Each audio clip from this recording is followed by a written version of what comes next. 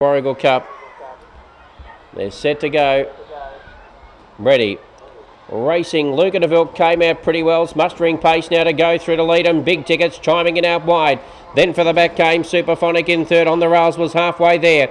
Around the outside goes Dawkins Bale. Well back was Benzo Bale there with Riley's Bandit. And last of all, Diner Alchemist on the corner. The two favourites have it between them. Luca DeVille being challenged by Big Ticket the outside. Big Ticket strides to the lead narrowly. Luca DeVille kicking back to hit the line. Nothing in it. It's Luca and Big Ticket and flying there was Dawkins Bale at the finish. Then for the back was halfway there from Riley's Bandit. Diner Alchemist, Benzo Bale, Superphonic, 25.71, and a really tight photo.